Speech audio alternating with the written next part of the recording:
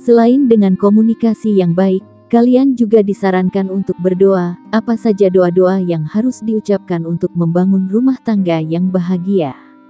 Pertama, doa kebahagiaan rumah tangga agar mudah mendapatkan rezeki. Tak dapat dipungkiri, menikah dan memiliki anak pasti membutuhkan biaya yang tidak sedikit.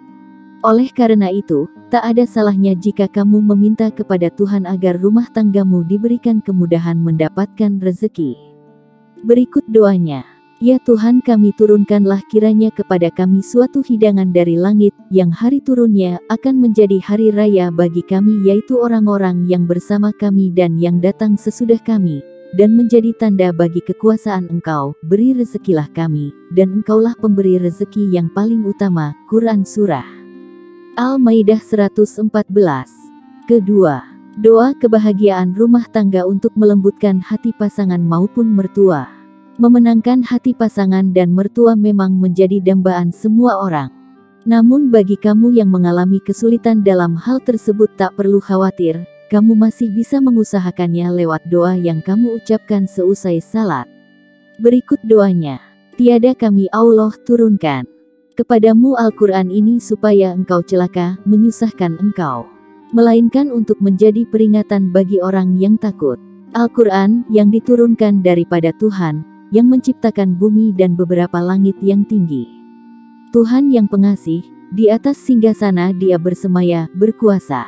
Dia mempunyai apa yang ada di langit, dan di bumi, serta di antara keduanya dan apa yang ada di bawah tanah. Quran Surah Taha 2-5 3. Doa kebahagiaan rumah tangga agar terbebas dari niat jahat manusia.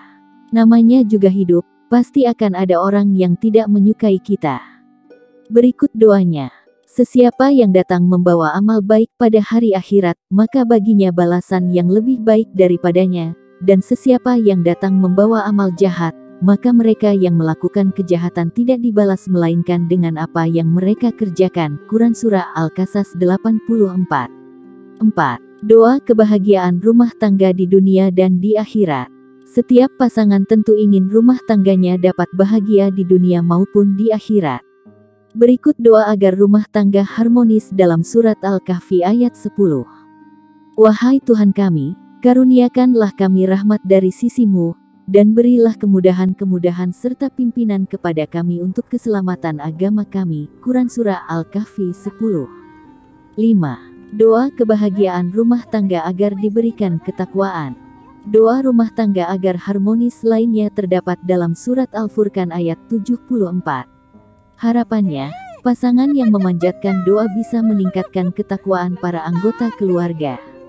Berikut doanya, Ya Tuhan kami, anugerahkanlah kepada kami, istri-istri kami, dan keturunan kami sebagai kebahagiaan hati kami, dan jadikanlah kami imam bagi orang-orang anggota keluarga yang bertakwa. Quran Surah Al-Furqan 74 6.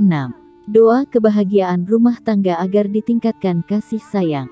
Rasa kasih sayang yang terus tumbuh dapat membuat rumah tangga seseorang harmonis. Berikut doa dalam surat Taha ayat 39. Dan aku telah tanamkan dari kemurahanku perasaan kasih sayang orang terhadapmu, dan supaya engkau dibela dan dipelihara dengan pengawasanku. Quran Surah Taha 39. 7. Doa kebahagiaan rumah tangga agar dipermudah segala rencana hidup. Terakhir adalah doa kebahagiaan rumah tangga agar dipermudah segala rencana hidup. Tak hanya berusaha untuk memudahkan segala rencana hidup yang telah dirancang bersama pasangan, kalian juga perlu memanjatkan doa. Berikut doanya. Wahai Tuhan kami, karuniakanlah kami rahmat dari sisimu dan berilah kemudahan-kemudahan serta pimpinan kepada kami untuk keselamatan agama kami. Quran Surah Al-Kahfi 10 Itulah ketujuh doa agar rumah tangga bahagia di dunia maupun di akhirat.